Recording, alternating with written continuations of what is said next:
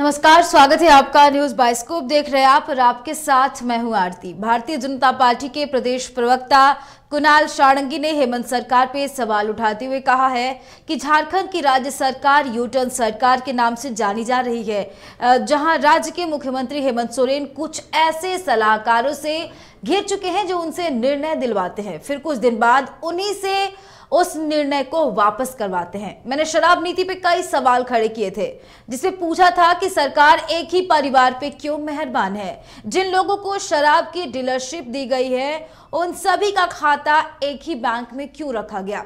और अब सरकार शराब का कारोबार अपने जिम्मे रखना चाह रही है। ऐसी कई नीतियाँ हैं जिसके कारण सरकार को यू टर्न सरकार के नाम से जाना जा रहा है। ऐसे निर्णयों से सरकार की फजीहत हो रही है। लगता है जैसे मुख्यमंत्री हेमंत सोरेन का रिमोट किसी और के हाथ में है।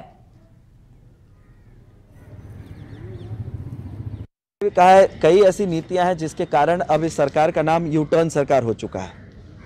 मुझे आश्चर्य लगता है कि क्यों ऐसे सलाहकारों से माननीय मुख्यमंत्री महोदय घिर गए हैं, जो निर्णय उनसे दिलवा लेते हैं और कुछ दिनों के बाद फिर उस निर्णय को उन्हीं से वापस करवा देते हैं। इससे फजीहत सिर्फ़ सरकार की हो रही है। शराब नीति पर मैंने कई बार इस सवाल को उठाया था कि आखिर एक ही परिवार पर क्यों ये सरकार मेहरबान है? एक ही काटल पर क्यों मेहरबान है? एक ही बैंक के आ, में ही सारे जिन लोगों को शराब के आ, जो डीलरशिप मिली है इस बार वो सारे खाते एक ही बैंक में क्यों हैं? कई ऐसे महत्वपूर्ण विषय थे जिनको लेकर शंकाएँ उत्पन्न हो रही थी।